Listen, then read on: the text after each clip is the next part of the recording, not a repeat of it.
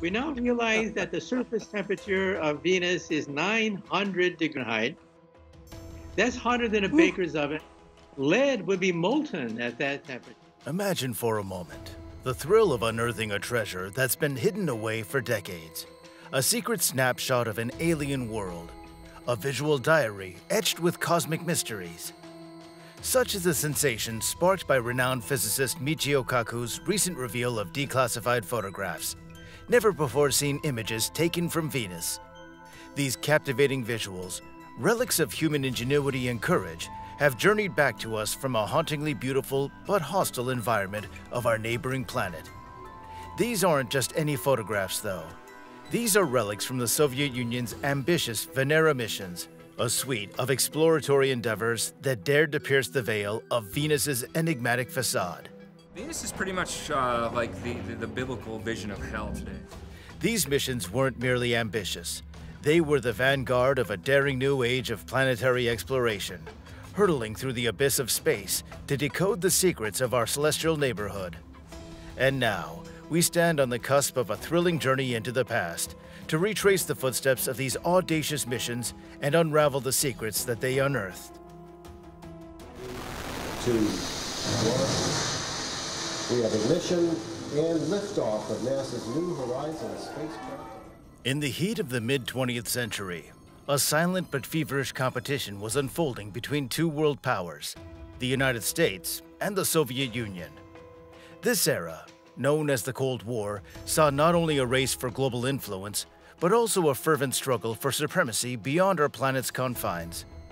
This celestial contest, famously referred to as the space race, symbolized technological prowess, strategic superiority, and national pride painting a grand theater where the skies were not the limit, but the stage. Caught between these geopolitical titans was an unassuming yet tantalizing world Venus. Venus, Earth's closest planetary neighbor, shimmered in our skies as a beacon of mystery and potential. Its size and composition, strikingly similar to Earth's, attracted the keen eyes of astronomers and the grand designs of these spacefaring nations. For the Soviet Union in particular, Venus was more than a glowing jewel in the night sky. It was an opportunity to showcase their scientific capabilities, deepen our understanding of the cosmos, and perhaps even uncover clues about our place within the vast expanse of the universe. Thus, Venus transformed from a point of light in our night sky to a focal point of Cold War competition and cosmic curiosity. In the early 1960s, against the backdrop of the Cold War, the Soviet Union set its sights on the star-dusted skies, endeavoring to pioneer space exploration and bring the mysteries of Venus closer to home. Initiated by the Soviet Union, the Venera missions were a bold, groundbreaking effort aimed at unraveling the mysteries of our closest planetary neighbor. The Venera spacecraft was built not just to reach Venus, but to probe, study, and understand it in unprecedented ways. The Soviet Union knew the endeavor would be anything but simple. Venus is a planet infamous for its inhospitable conditions. It boasts an average surface temperature of about 467 degrees Celsius, hotter than the surface of Mercury, despite being further from the Sun. Its atmosphere is a turbulent mix of carbon dioxide and sulfuric acid clouds, presenting another barrier for any spacecraft. To top it off, the pressure on Venus's surface is about 92 times that of Earth, equivalent to the pressure nearly a kilometer deep in Earth's oceans. The first two Venera missions, Venera 1 and Venera 2, bore the brunt of these challenges. Launched in February 1961 and November 1965, respectively, both missions sought to reach Venus and relay crucial data back to Earth. However, they were met with significant hurdles. Venera 1 lost contact with mission control shortly after launch, and Venera 2, while successfully reaching Venus, failed to transmit any data back. These initial failures, while disappointing, were far from disheartening. Instead, they provided valuable lessons that would guide the future of interplanetary exploration. Rising from these setbacks, the Soviet Union made a significant breakthrough with Venera 3. Launched in November 1965, the same year as Venera 2, Venera 3 holds the distinction of being the first human-made object to impact another planet's surface. It crash-landed on Venus in March 1966, marking a major milestone in space exploration. Despite the fact that Venera 3 also lost contact before reaching Venus, some data transmission was achieved during its descent, providing humanity with its first direct insights into the Venusian atmosphere. Thus, the stage was set for the missions to come. The failures of the initial Venera missions weren't merely setbacks, but stepping stones, each one paving the way to a better understanding of the immense challenges of space exploration and fostering an unwavering determination to overcome them. With the lessons learned from Venera 1, 2, and 3, the Soviet Union was better equipped than ever to delve deeper into the secrets of Venus. In the early days of interplanetary exploration, the Soviet Union faced significant hurdles. Initial attempts to reach Venus, such as Venera 1 and 2, failed to deliver on their mission objectives due to a variety of technical problems. However, these initial stumbling blocks only bolstered the resolve of the Soviet Union scientists and engineers. They saw these failures not as an end, but as a unique opportunity to learn, iterate, and innovate. With the determination to push the boundaries of the unknown, the Soviet Union undertook critical adjustments to their spacecraft designs, both to endure the journey and survive the harsh conditions of Venus. One such improvement was the inclusion of a descent module, designed to withstand Venus's hostile atmosphere and facilitate the collection of crucial data during the descent and after landing on the planet's surface. These innovations bore fruit with the missions of Venera 4, 5, and 6. Each of these missions carried with them an array of scientific instruments designed to probe the atmospheric composition, temperature, pressure, and other parameters of Venus. Their data unveiled a world vastly different from our own, shaping our understanding of what makes a planet hospitable. One of the most groundbreaking findings from these missions was the discovery of the composition of Venus's atmosphere. Unlike Earth's nitrogen oxygen rich air, Venus boasts an atmosphere almost entirely composed of carbon dioxide. This dense CO2 rich atmosphere creates a severe greenhouse effect, trapping solar radiation and leading to surface temperatures hot enough to melt lead. This understanding helps scientists realize the powerful role atmospheres play in shaping a planet's climate and surface conditions. It also brought the catastrophic potential of the runaway greenhouse effect into sharp focus here on Earth, highlighting the urgent need for climate change mitigation. Further, Venera missions made another surprising revelation.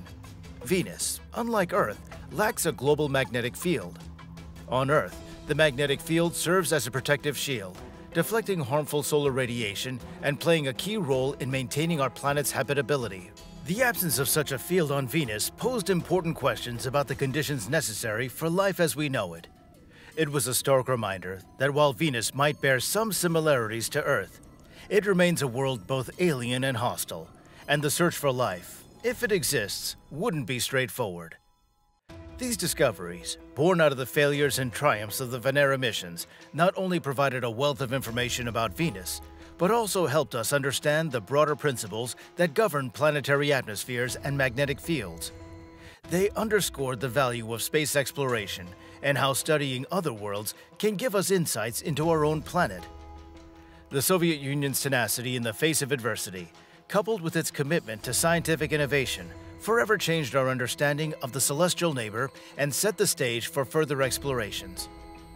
In the quest to reveal the secrets of Venus, the Venera series missions made significant strides that indelibly marked the history of space exploration. It's crucial to acknowledge the significance of the later Venera missions, which emerged as the guiding light in the shadowy mysteries of Venus. Among these, Venera 7 and Venera 8 contributed significantly to our understanding of this tantalizingly enigmatic planet. Venera 7 was launched on August 17, 1970, and achieved something none had before. It successfully landed on Venus, making it the first spacecraft to achieve a soft landing on another planet. Yet this was not an unblemished victory. The lander, encased in a descent module, was intended to survive the landing and transmit data back to Earth. But upon landing, the module tipped over, compromising the signal transmission.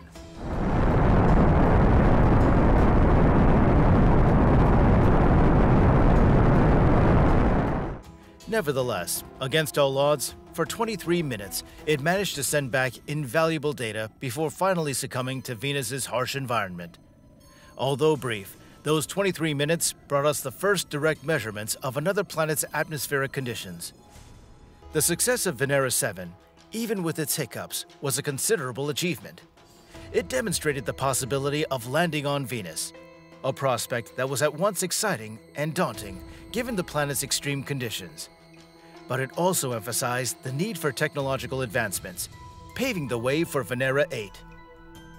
Launched on March 27, 1972, Venera 8 was more advanced than its predecessors, equipped with a series of instruments designed specifically to withstand Venus's intense environment. Or about 465 degrees Celsius, and the 95% carbon dioxide atmosphere is 92 times heavier than what we experience on Earth. The lander housed a spectrometer, a photometer, a temperature and pressure gauge, and for the first time, a device to measure the light levels on the surface. The data obtained was a treasure trove of scientific knowledge, Venera 8 confirmed that the high surface temperatures on Venus were uniform, reaching up to 470 degrees Celsius, a temperature high enough to melt lead. The atmospheric pressure was measured to be 90 times that of Earth's at sea level, an observation echoing the findings from the Venera 7 mission. Building on this success, Venera 8 went a step further by providing the first ever color photographs of Venus's surface offering unprecedented visual insights into the planet's austere and desolate terrain. The images portrayed a world of striking yellows and oranges, a landscape made alien by its dense, carbon dioxide rich atmosphere. It was a sight to behold, a visual feast of a place so hostile, yet so tantalizingly fascinating. These groundbreaking contributions of the Venera 7 and Venera 8 missions reshaped our understanding of Venus and opened a new chapter in space exploration. They underscored the remarkable resilience of human innovation and perseverance. From the first successful soft landing on Venus to the advanced instrumentations that braved the harsh Venusian environment, these missions painted a detailed, colorful portrait of our celestial neighbor. Today, as we marvel at the recently declassified photos from these Venera missions, released by physicist Michio Kaku, we're reminded of these pivotal moments in our quest to explore the universe. We want to look maybe even for radio transmissions. Perhaps there's intelligent life there. Perhaps they've harnessed some kind of radio. So this They serve as a testament to our relentless pursuit of knowledge, our desire to push boundaries, and our capacity to innovate in the face of challenges. They exemplified the spirit of human curiosity and the persistent quest to unravel the universe's mysteries. The revelations of the Venera missions provided unprecedented insights into not only Venus, but also to the deeper understanding of alien environments. The very conditions that tested the limits of the Venera probes, the suffocating atmospheric pressure, the caustic sulfuric clouds, and the punishing temperatures, acted as irreplaceable lessons about what other planets may harbor and how they might behave. It helped us peer into the corners of our own solar system and beyond to seek out parallels, contrasts, and clues that would further human knowledge about the universe at large. An especially crucial outcome was the understanding of the formation of planetary magnetic fields. The Venera missions unveiled that Venus, unlike Earth, lacked a global magnetic field. This disparity raised intriguing questions about why our planetary neighbor, so similar in other respects, lacked a feature crucial for life on Earth. The absence of a magnetic field on Venus offered scientists a real world scenario to study the effects, contributing to the broader understanding of what makes a planet habitable. It offered a natural laboratory for scientists to delve into the intricate balance of elements and conditions necessary for life to exist and thrive. But the intrigue of Venus didn't stop at its magnetic field or lack thereof. A topic of ongoing research and heated discussion in the scientific community came to the fore the potential presence of phosphine gas in the atmosphere of Venus. On Earth, phosphine is a gas usually associated with life. The detection of it on Venus set the scientific community ablaze with speculation and wonder. Could there be life on Venus, or at least the precursors to it? Kilometers up in the clouds are much more temperate and Earth-like. Well, the question about the presence of life on Venus could be answered in the next few decades. While the Venera missions did not find definitive signs of life, the potential phosphine detection hinted at the possibility that Venus might have held or could still hold some form of life. This hint has not only sparked curiosity, but also fueled the urge for further exploration of the enigmatic planet. The potential presence of phosphine re emphasizes the necessity to probe deeper, to send more advanced technology to the sulfuric skies and infernal grounds of Venus. As we venture further into the space age, Venus calls us back, urging us to unlock the mysteries it still holds. Our journeys through the mysteries of Venus doesn't end with the historic Venera missions. Instead, it propels us forward into the future, to a mission that stands as a beacon of hope for scientists worldwide. The very spirit of exploration that animated the Venera missions still thrives today. It's evident in the plans of Roscosmos, Russia's space agency, for a remarkable endeavor, the Venera D mission. The Venera D mission, which translates as Venus D, stands as a testament to the undying human spirit of exploration and curiosity. This mission, slated for launch in 2029, is far more than a mere continuation of the Soviet Union's legacy. It's a fresh chapter, an attempt to push the boundaries of what we know about Venus and our universe. What does Venera D hope to achieve? The answers are as multifaceted as they are exciting. It aims to unravel more secrets about Venus's atmosphere, surface, and overall conditions. It's slated to gather more comprehensive data on the planet's geological activity and weather patterns. A particularly fascinating objective is a plan to study the planet's unique cloud system, a feature that has puzzled scientists for decades due to its unusual sulfuric acid composition. But perhaps the most significant goal of Venera D is its pursuit of an answer to a question that has long captivated the human imagination. Is there life on Venus? The presence of phosphine gas detected in Venus's atmosphere suggests potential biological activity. Venera D plans to investigate this mystery, providing crucial data that could fundamentally shift our understanding of life in the universe. The mission's significance stretches beyond the realm of space exploration. Venera D symbolizes the persistence of human curiosity and our collective desire to understand the cosmos. This mission carries the weight of expectations, but it also carries the hopes and dreams of scientists and space enthusiasts around the world. Its success could be a turning point, sparking a new era of space exploration and redefining our understanding of what it means to be alone in the universe. Looking into the haze of Venus, experts have found traces of phosphine, a possible indicator of life. This was found in the clouds of Venus. Standing at the cusp of a new decade in Venus exploration, we anticipate the revelations that the upcoming Venera D mission may offer. It promises to further our knowledge of our celestial neighbor, potentially redefining our understanding of planetary habitability and might even inch us closer to addressing the profound question Are we alone in this vast cosmos? The unveiling of the declassified Venera photographs brings to life the extraordinary journey of Soviet Venus exploration, with its trials and triumphs. These images, capturing Venus's turbulent scorched landscape, provide more than mere geographic details. If this discovery is confirmed, it will surely be one of the most stunning insights into our universe that science has ever uncovered. They encapsulate the indomitable spirit of human innovation, tenacity, and our ceaseless pursuit of universal understanding. The unveiling of Venus by the Venera missions delivered unprecedented insights into this neighboring planet Despite the punishing environment, the Venera probes stood resilient, beaming back crucial data about Venus's formidable atmosphere and surface conditions.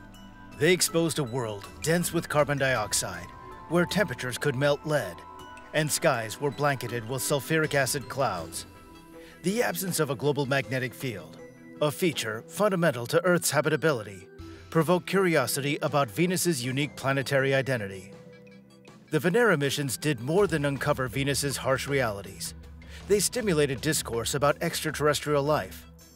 The speculated detection of phosphine gas, an earthly biosignature, in Venus's atmosphere, further ignited this inquiry. Venus, Earth's evil twin. Its clouds made of battery acid. At 900 degrees, its surface hot enough to melt lead. Although the presence of phosphine doesn't definitively suggest life, it reiterates the imperative for continued exploration and encourages us to persistently question and seek.